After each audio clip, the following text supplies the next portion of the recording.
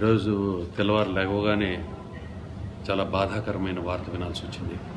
జయప్రకాష్ రెడ్డి గారు నటులు జయప్రకాష్ రెడ్డి గారు మనందరినీ వదిలి వెళ్ళిపోయారన్న వార్త వినగానే చాలా బాధ వేసింది.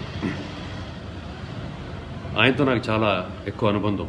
చాలా సినిమాలు పనిచేసాం సినిమాలతో కాకుండా బయట కూడా ఎప్పుడప్పుడు ఫోన్లో మాట్లాడుకుంటాం కలిసి మాట్లాడుకుంటాం అనే బంధం ఉంది మాకు. సో ఒక మంచి నటుడు ఒక మంచి మనిషి స్నేహశీలి మంచి మానవతా విలువలు ఉన్న మనిషి అండి.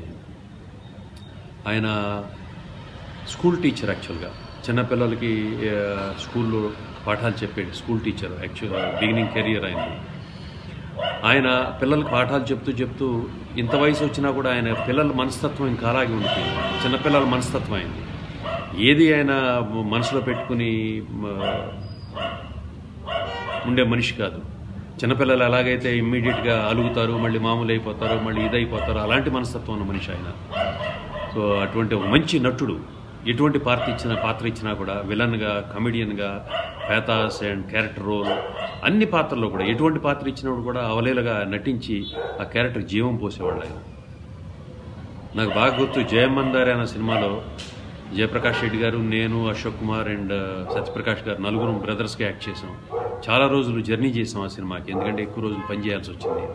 అప్పటి నుంచి మా అందరికి బంధుబంధం ఎక్కువ. అప్పటి నుంచి మేము ఆయన డాడీ అని పిలుస్తూ ఉండేవాళ్ళం అనమాట డాడీ అంటే ఒక ఫాదర్ ఫిగర్ లాగా ఫీల్ అయ్యేవాళ్ళం మేము ముగ్గురు. మేము ముగ్గురు కూడా డాడీ డాడీ. ఇప్పటికి కూడా ఆయన డాడీ అనే పిలుస్తాం. జయప్రకాష్ రెడ్డి గారు అనో లేకపోతే ఈయన డాడీ ఎలా ఉన్నావు బాగున్నావు అనేసి రీసెంట్గా కూడా ఆయనతో నేను ఫోన్లో మాట్లాడాను కొంతకాలం క్రితం.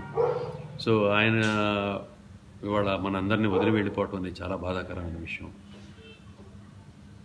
తెలుగు ఇండస్ట్రీ మొత్తానికి ఒక మొత్తం తెలుగు ఇండస్ట్రీ అందరికీ ఒక మంచి నటుడిని కోల్పోయింది. ఇటువంటి నటులు మళ్ళీ వస్తారా అంటే ప్రశ్నార్థకరమే.